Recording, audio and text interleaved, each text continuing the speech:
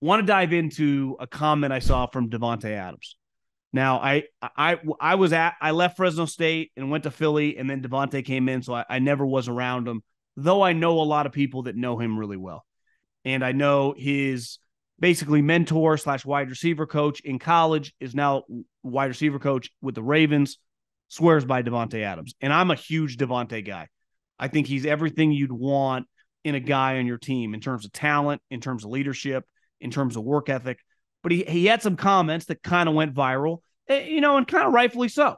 And, and, this is after they won and they're three and three, despite I got a couple buddies that are Raider fans that text me after they saw these comments. They're like, the craziest part about this team is they're three and three. Like, how the hell are they three and three, John? I'm like, well, they just played the Patriots. That that helped.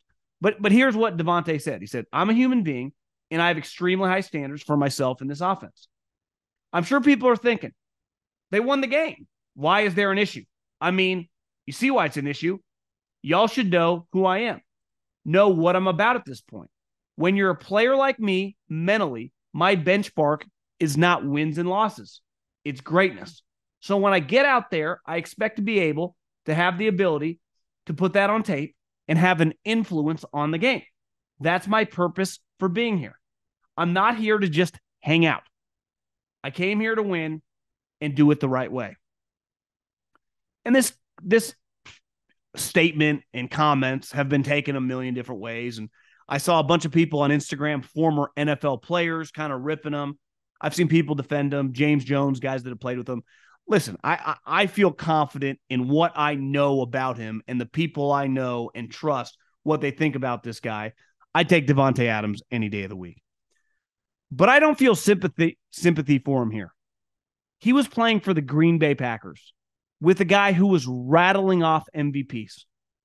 And he chose because the Packers were willing, well, it got a little weird the year before, but they were willing to pay every penny that the Raiders paid to Davante Adams. And he said, I don't want your money.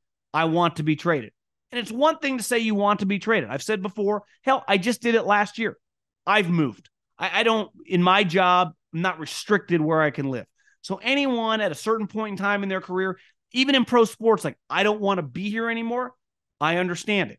And if he just said, hey, I want to be traded, I get it. Like, it's time. He could sense the end was near with Aaron Rodgers.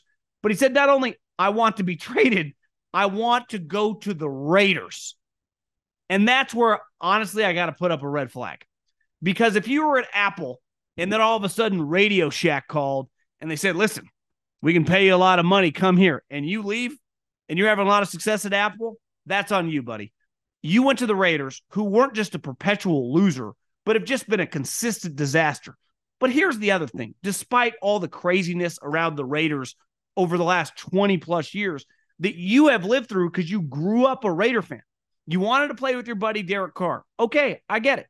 Here's the problem. Like, you know what Aaron Rodgers looks like. And then before the season even ends, Derek gets sent home and he's gone. And now you're playing with Jimmy Garoppolo and Brian Hoyer. And this week you're playing with Brian Hoyer. Like, this is the Raiders, bro. Like, you left an organization that we can say, hey, the Packers don't have an owner. You know, the Packers have some limitations. The Packers live in a small town. I, I get it. But the great part about being a pro athlete is like what I do, if I'm going to make money, unless I start some new profession, I can do this the rest of my life. As long as I can talk, as long as I can come up with interesting shit to say, as long as I still enjoy watching football and golf and, and just life, I can podcast, right? As an athlete, your time's limited.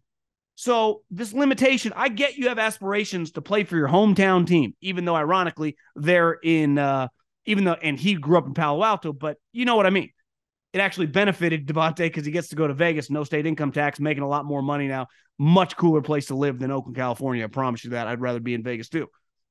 But you chose that organization and you chose a quarterback situation and a coach. Like you you you chose to like go play for Josh McDaniels, which let's face it, is more than a question mark. Even Raider fans listening to this right now and go, Middlekauff, you're just a hater. You're always talking shit about the Raiders.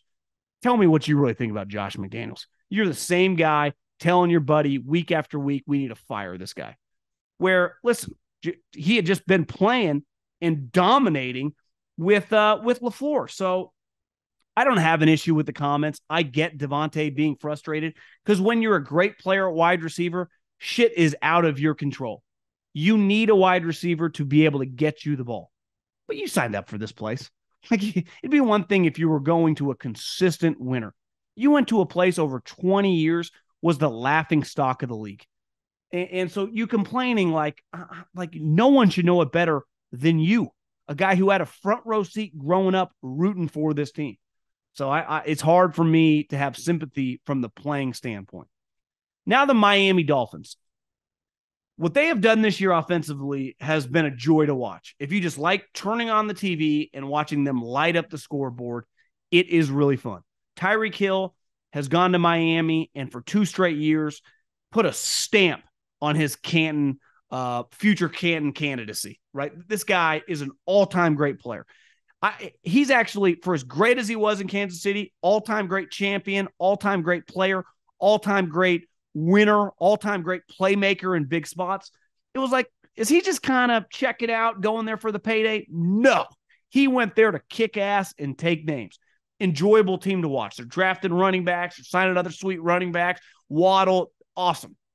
But I think a lot of people, because it is really fun, feel a little bit like an NBA team that's scoring a lot of points. Like, well, you don't play defense. And who have you played? So I wrote down their opponents and I went, well, you know, they're five and one. What, what does it really look like? The first week, which is their best win, was the Chargers.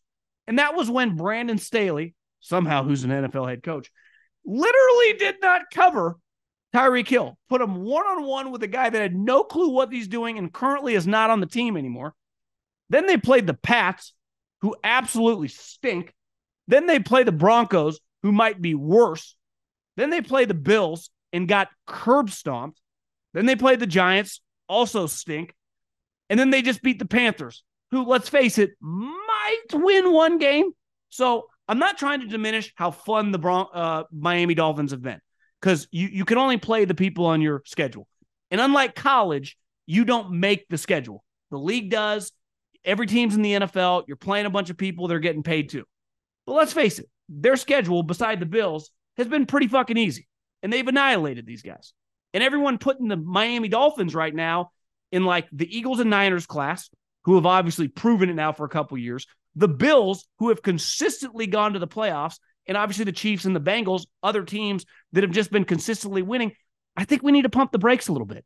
Now, I will be the first one to admit if they play on Sunday Night Football and they beat the Eagles, I will tip my hat to them and call them a real team.